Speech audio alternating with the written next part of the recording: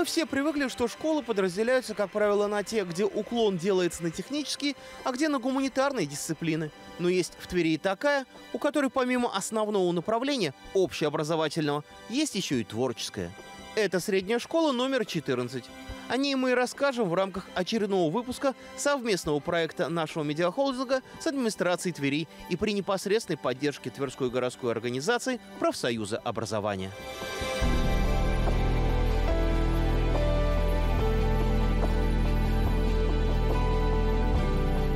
В двух корпусах этой школы, старом и новом, постигают знания почти 1300 учеников под руководством 70 педагогов.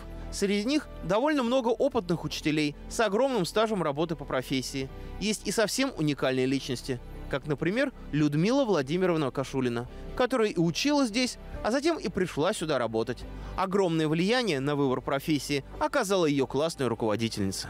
Это был человек, ну, единомышленник, человек творческий, и работать с ним было, конечно, замечательно.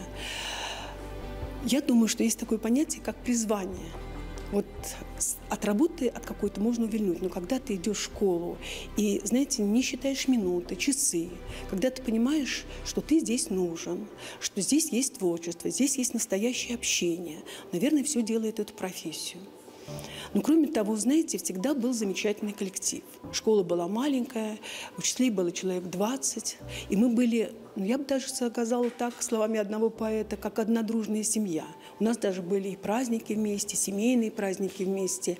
И, конечно, люди учителя, знаете, любили это общение, любили творческое общение. Поэтому все, что есть сейчас в школе, и театр, и художественное чтение, и разные творческие дела, вот истоки, они там, в маленькой школе.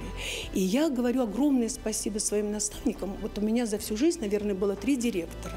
И это были замечательные люди. Это вот были люди, которые действительно, как мы сейчас, может быть, уже не модно говорить, себя в это дело вкладывали до последнего. Они учили и работать, работать, и отдыхать, и общаться. То есть вот была такая гармония. Ну и потом, если говорить о сегодняшнем дне, о долголетии, я, наверное, благодарю Бога за то, что мне, знаете, последние года как-то вот э, он, наверное, улыбается, не скажу, что судьба, потому что ведь школа для меня – это дети, родители и мы – и у меня замечательные дети, замечательные родители. Это я вам искренне говорю, потому что я действительно, вы понимаете, есть возраст, но есть вот та легкость в работе. Только поэтому, что есть вот это слаженное общение в коллективе с детьми и, конечно, с родителями. А вот педагогический путь Софии Емельяновой только начинается. Она вообще еще совмещает работу в школе с магистратурой. И при этом уже успела добиться немалых успехов в профессии учителя химии, которым она решила стать еще будучи студенткой. В университете была отличницей и занималась научной деятельностью, занимаюсь ей до сих пор. Да, буквально недавно представляла Тверскую область э, на конкурсе «Студент года» э, в интеллекте года, такая номинация. И также недавно стала финалисткой грантового конкурса «Умник». И химия со школьных времен мне очень нравилась, прям с первого урока. И я пошла получать образование, бакалавриат, затем магистратура и вернулась в родную школу работать. Одной из задач своих уроков София считает применение полученных навыков на практике. Например, она рассказывает, как при помощи лимонной кислоты и соды можно дома очистить посуду и многое другое. Есть отдельный блок, это домашняя химия, когда ребята, а, получая различные различные кейсы, могут применить их дома. Да, например, как э, получить кристалл, вырастить дома, как можно э, использовать средства для очищения посуды по-особенному, как э, самим сделать такое средство из подручных средств, например, из лимонной кислоты и соды. И уж тем более прикладной дисциплиной смело можно назвать уроки технологии. Они особенно важны для тех, кто только приходит в школу навыки работы с руками, моторика, у них намного хуже, чем было тогда. Тогда дети с детского сада шнурки завязывали и пуговицы сами, э, как говорится, застегивали. А современным детям мы пытаемся все время сделать что-то более легкое. Обувь, значит, на липучках. Э, если одежда, то пускай будет на змейке, Поэтому у детей вот как раз умение работать-то плохо развито.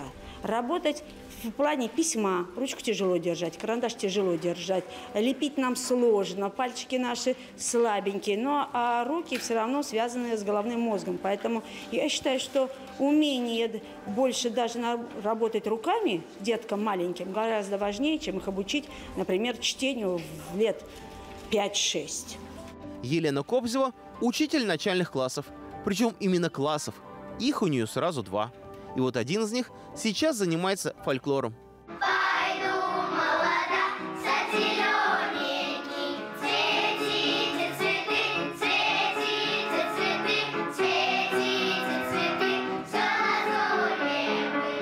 Такие песни ребята разучивают под руководством преподавателя из знаменитого колледжа культуры имени Львова Юлии Кочегаровой. Приглашение такого уровня педагогов со стороны – это принципиальная стратегия 14 школы, которая приносит свои плоды. У нас работают артисты театра, у нас работают артисты кино, артисты телевидения. Если говорить о каких-то направлениях работы, да, и э, все с профессиональным образованием, танцевальным, хореографическим, вокальным образованием, это дипломированные специалисты. И в творческих конкурсах мы постоянные победители, лауреаты театральных фестивалей, фольклорных фестивалей, конкурсов чтецов, инсценировки басен. С нами хотят работать э, библиотеки, школ города Твери и так далее и тому подобное.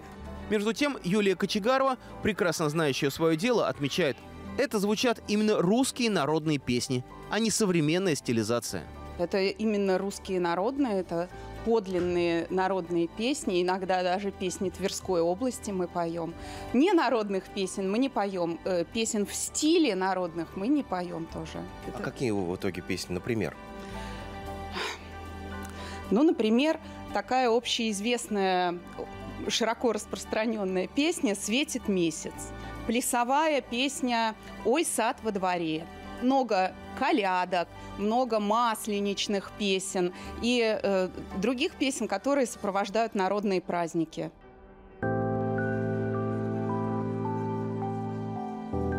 Для создания действительно той самой аутентичной атмосферы, чтобы было как у Пушкина, здесь русский дух, здесь Русью пахнет. Дети исполняют песни в национальных костюмах. За костюмы спасибо родителям. У каждого ученика свой костюм. Э, родители шьют или покупают, каким-то образом приобретают. Костюмы, во-первых, дают атмосферу особую, потому что как бы хорошо не пели люди песни без костюмов, восприятие немножечко другое. Когда э, одеваются костюмы, это сразу ощущение подлинности, ощущение праздника. В 14 школе активно развивается и театральная студия, тоже благодаря приглашению в качестве педагогов профессиональных служителей Мельпомены. И это также приносит свои результаты. У нас есть актер театра и кино, который закончил театральную студию имени Табакова. И сегодня он действующий артист кино и театра. Соответственно, Максим Виноградов, мы им гордимся, о нем есть публикации. Но буквально недавно э, в доме Андрея Дементьева, посвященный его э, творчеству наши ребята не просто посетили музей Андрея Дементьева, но и показали вот постановку творчества, которые через э, произведение э, Дементьева отразили судьбу поэта. И, насколько мы поняли, отзывы как раз представителей, э, присутствующих на данном творческом вечере, сказали, что они такого еще не видели. Сотрудничество с профессиональными актерами не означает, что в 14 школе нет собственных кадров. Они есть в лице Ильи Маркова, который тоже отмечает пользу от работы с тверскими театрами. Я достаточно плотно сотрудничаю с театром юного зрителя. И у нас проходили э, просветительские акции. Вот недавно мы стали участниками акции от Российского общества знания «Знание театр». Приглашали актеров с мастер-классом. Он рассказывал детям про направление как раз драматургии, давал мастер-класс по актерскому мастерству. Также наши дети активно посещают театры в рамках и уроков литературы, в рамках и доп. образования. Потому что да, действительно тоже важно погружаться в ту культурную среду города, в которой ты живешь. Это драм- драматический театр, и театр кукол, безусловно, потому что в каждом театре можно найти выдающиеся произведения. Вот. И артисты, конечно, тоже с нами э, нам помогают активно, и директоры, директора театров тоже с нами, мы с ними на связи и всегда рассчитываем на их помощь. Мир искусства правит бал в 14 школе не только в рамках кружков, но и на уроках, например, музыки. Ее детям преподает Екатерина Химченко. Причем очень вдохновенно. Наверное, потому что сама заболела этим предметом еще со школы первом классе, благодаря фольклорному кружку, который у нас был, обнаружилось, что у меня есть вокальные данные. И вот именно с первого класса вся моя творческая вокальная деятельность и пошла, благодаря чему имею там э, свои какие-то достижения. Поэтому я считаю, что это очень важно, и прекрасно, что у нас есть такая возможность предоставлять ребятам и такое воспитание тоже. А разностороннее воспитание для ребят все-таки это не зацикленность на только точных или естественных науках, это расширяет мышление, фантазию, мозговую деятельность. К своим урокам Екатерина подходит креативно. Конечно, дети слушают здесь и Моцарта, и Чайковского, и Баха, и Глинку. Однако есть что-то и посовременнее. В старших классах а, можем познакомиться с творчеством группы Битлз, группы кино. А, ребятам это очень сильно откликается в сердце. Они с удовольствием поют, и даже учитывая, что они старшие классы, и мальчики, и девочки, с радостью мы поем вместе на уроках песни, которые и им близки, и подходят к нашей теме разговора. И мы находим в этом точки соприкосновения, от чего интерес к уроку у них не пропадает. Есть в 14 школе даже своя телестудия с очень милым названием «Кнопка». Ей уже больше 8 лет. Все эти годы ученический телепродакшн постоянно развивается. В 2016 году, когда пришел к директору с целью создать школьную телестудию, был вопрос такой, а чем будет заниматься? Решили сначала делать школьные новости, снимать игровые документальные фильмы – а сейчас расширились и снимаем вплоть до анимационных фильмов и компьютерной графики. Новое наше направление – это мультипликация. Занимаются более 30-40 детей, одновременно садятся за стол и совместным творческим процессе ищут какие-то новые варианты развития событий, новые сюжетные линии ищут. А персонажи самые разнообразные. Креатив в 14 школе проявили и при создании музея. В нем есть очень необычная коллекция головных уборов. Ее, говоря по-научному хранитель, учитель географии. Но кому же еще собирать предметы одежды из многих стран мира? Тут действительно представлены все континенты. С этого началась коллекция главных уборов. Это наша ученица уехала в седьмом классе с родителями посольство а, во Вьетнам. Но это не вьетнамский главный убор, а лаосский. И вот с него как-то она приехала, вернулась к нам в школу, продолжала учиться. Ну, кстати, э, училась позднее, потом закончила школу, пошла на геофак, отучила, отработала учителем географии.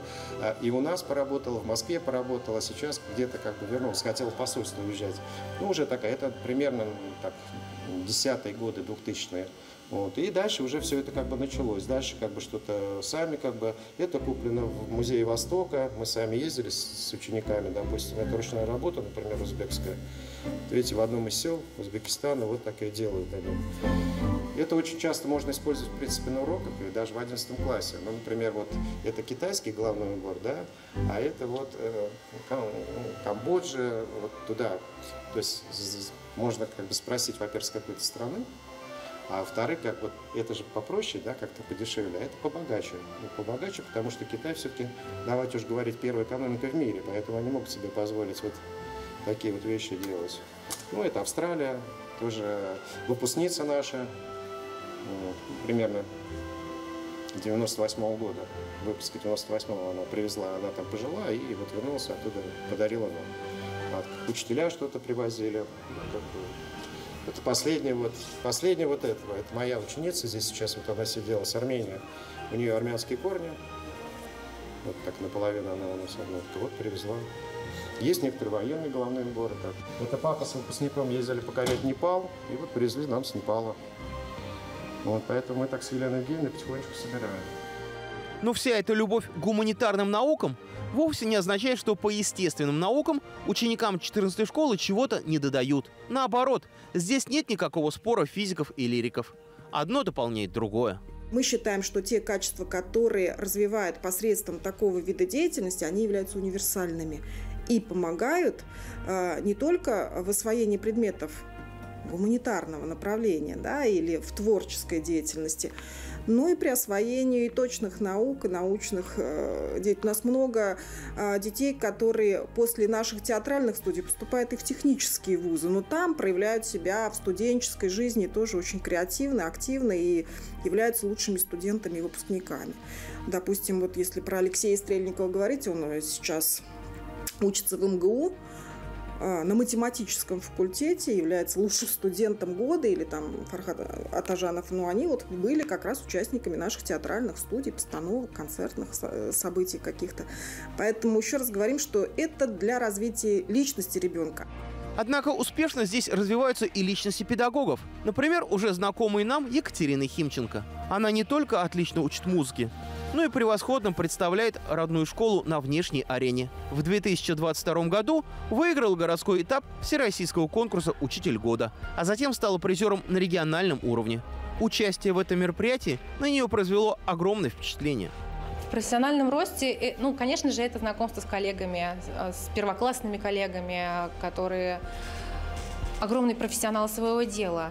И благодаря этому расширилась и своя методическая база. То есть свой профессиональный уровень, он все-таки стал выше в понимании, как нужно вести урок, что это вообще такое, или какие а, новые сейчас требования вообще в образовании, в системе во всей происходят. То есть благодаря вот этому социальному взаимодействию больше следишь, находишься в тренде современного образования, но это, конечно, очень важно для учителя не стоять на месте.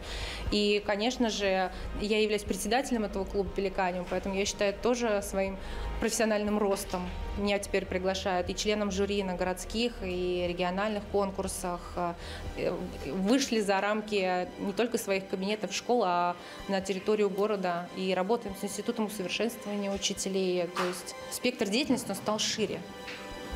А что в итоге привнесли в свои уроки по итогам вот, участия в конкурсе «Учитель год»? Вы сказали какие-то новые методики и так далее. Что вы добавили, например? Ну, я, например, добавила некоторые приложения, которые можно использовать благодаря сети интернета, которые рассказали коллеги, и от этого уроки, тем более для малышей, стали еще интереснее. Познакомилась с некоторыми интересным методом оценивания уроков. Не то, как мы привыкли традиционно, когда учитель спросил и ответил, да, а то, что самооценивание или дети взаимооцениванием происходит, и вообще, что они теперь оценивают даже каждый этап своего урока. Как они вначале поработали, как они спели песню или как они распелись, то есть даже вот такие маленькие элементы мы с ними отслеживаем, и они сами наблюдают динамику, как они поработали сегодня на уроке, где у них а, что-то западает, а где они, наоборот, преуспели. Вот раньше такого в прежней системе, по крайней мере, не было.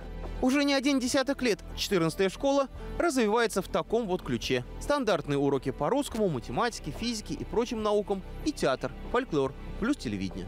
Директор школы убеждена, что такое направление работы полностью себя оправдало. С 1992 года вот этот эксперимент по внедрению в школу предметов эстетического цикла а, театра, ритмики, фольклора, риторики привел к тому, что школа получила свое лицо, отличающее наше образовательное учреждение от других таких же школ города Твери.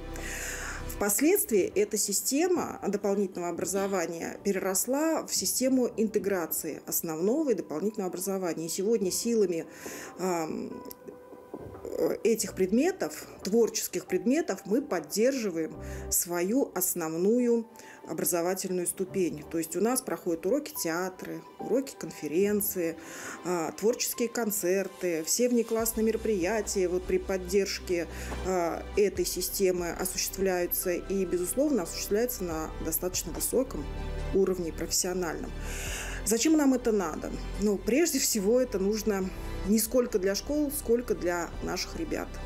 Потому что школа призвана не только развивать образовательный потенциал у ребенка, да, интеллектуальный, но и э, развитие личности ребенка в первую очередь связано с развитием э, его индивидуальных способностей и особенностей. Так что можно не сомневаться, в 14 школе и дальше будет наблюдаться такой успешный симбиоз гуманитарных и естественных наук, что придает учебному заведению его особенность, да можно проще сказать, уникальность.